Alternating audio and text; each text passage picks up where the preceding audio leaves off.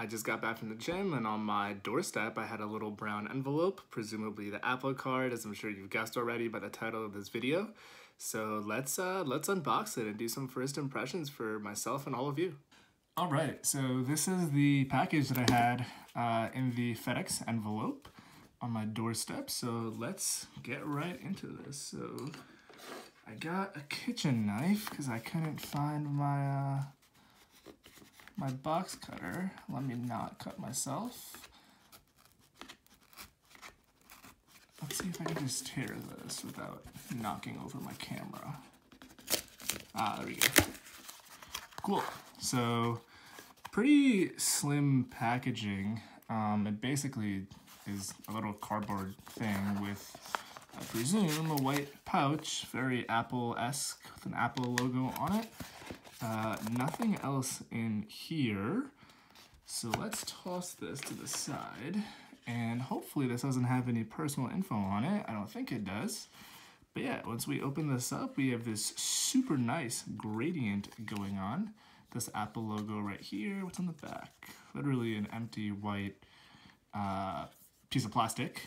So it has a... Uh, basically the card just sitting right here. So let me get this out of here. Um, I think this slides out, or maybe not. How do we get this out? Ah, there we go. Cool. So this literally just slides out of here. And wow, this is a, kind of a heavyish card. So it has the MasterCard logo on it. Let's see if I can zoom in MasterCard logo on it here. Um, I think it was on the back. Yeah, so we got a MasterCard logo on here, right there. And then we have the Apple logo on it, of course. And yeah, got your name etched on there. You have your chip and yeah, it's a pretty, pretty standard, standard card with the exception of that it's titanium. So yeah, um, I have a similar card that I can actually grab in a second that I want to compare this to, which is a card uh, by Chase, uh, specifically an Amazon Chase card that also feels really similar. Uh, it's like a little heavier, it's also metallic, and I want to say that that one feels more metallic than this one. Not that a card's um, the, the level of metallicness has any indication of how good the card is. Uh, this card can be set up with your Apple Wallet on your iPhone or iPad, etc., etc. You can use it with Apple Pay. Uh, there's cashback, daily cashback. The cashback is not that great.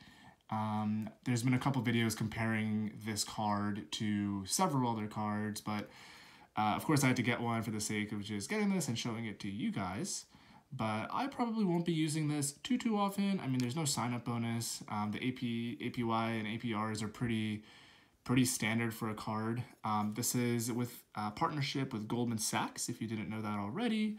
Uh, Apple unveiled this with their uh, other services in their service event a couple months ago, where they announced uh, the Apple Card, this guy, uh, Apple TV Plus, uh, their news subscription, as well as their gaming subscription. So once all of that kind of gets out, I'll be reviewing and kind of doing a first look at that. So yeah, that's about it. In here, um, there's basically nothing else. And to set this up with your iPhone, actually, um, you would just hold this uh, next to the device, and similar to how AirPods have a little pop-up modal from the bottom of the device, it'll pop up and prompt you to activate.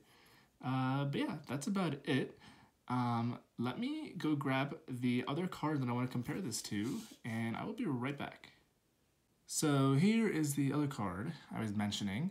It's the Amazon Chase card, and it also feels very similar. I don't know if you could hear it in the video.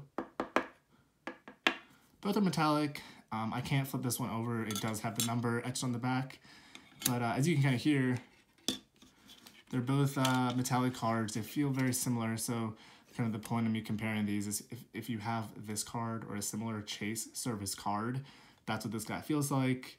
Would I recommend getting this? I mean, it really depends if you just want to have one to flex and have one. Um, there isn't a great cashback or opening bonus incentive.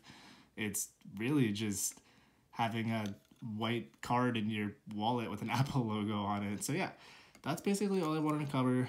Um, if you're new to this channel, subscribe for tech, Apple, uh, coding, entrepreneurship, general videos. Um, I try to post pretty consistently, although lately I have been pretty bad about following my schedule. Uh, I plan on getting back on track uh, this week. Leave a comment, like, subscribe, and I will see you guys in the next video.